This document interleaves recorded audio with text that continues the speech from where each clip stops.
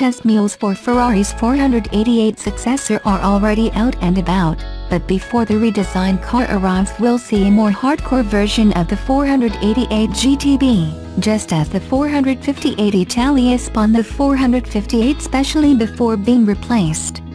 According to Autocar, the hardcore 488 will revive the storied GTO badge which Ferrari last used in 2010 for the 599 GTO.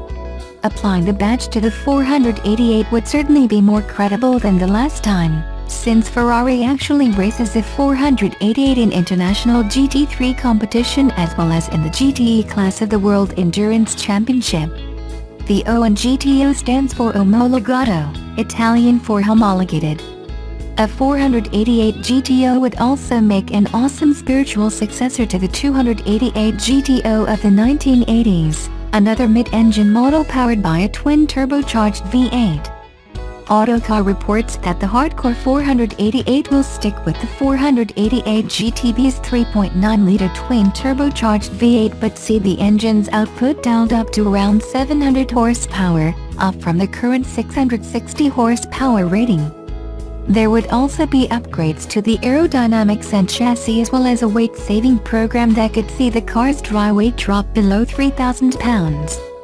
The 488 GTB weighs in at 3,020 pounds, dry, while McLaren 720S comes in at just 2,800 pounds.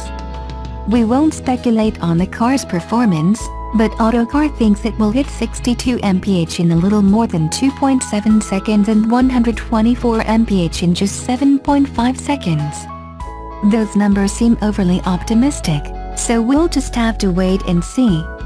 McLaren says the 720S will do 0 to 62 mph in under 3.0 seconds and 0 to 124 mph in 7.8 seconds.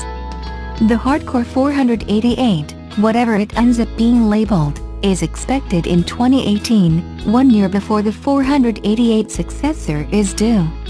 By the time it arrives, Porsche should have its new 911 GT2 ready to face it. No doubt the McLaren 720S and Lamborghini's Huracan Performante would also give it a run for its money.